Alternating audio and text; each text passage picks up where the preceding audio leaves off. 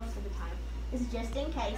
But we will hear back from Tamara Take Care. We're going to submit her today. We're going to send all her x-rays and her pictures. And then we're going to hear back in about two weeks. Mm. And so you're going She to get don't, on she don't have no job, so I don't know how they're gonna approve her. I don't know how she's gonna pay That's for one of this. the fine So she doesn't Okay. have surgery. They approve all surgery. Okay.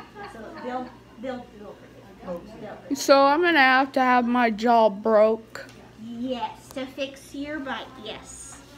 But we're gonna hear back in two weeks. You're gonna get a letter in the mail. and okay? braces Yes. for my teeth. Mm-hmm. So you can fix it. You have a pretty That- smile. And then guess what? What? I have to get leg brace. Leg brace. yeah, leg braces too. Oh, so you're gonna have all the braces, aren't you? Okay, but when you get that letter in the mail, you can go ahead and give us a call and schedule her to uh, get an appointment to get her braces on.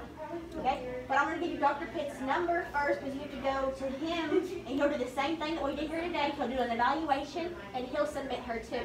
So if when he submits her, he'll get her approved for the surgery to be done. Yep. And so I can walk out with y'all. And the paperwork, I'm gonna get it on Friday. The paperwork, Yes. wow. And here. That's My case is complex. your case. I know. This one. Yeah, I, I'm gonna just gonna go ahead and get that done. So follow me.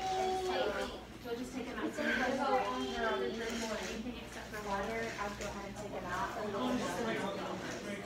So basically, as you heard, I apparently need I apparently need uh, surgery and braces for my teeth because I have a very severe underbite.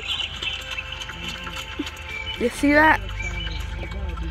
Prince noticed the beautiful voice coming from the tower. He wanted to That's what it looks like.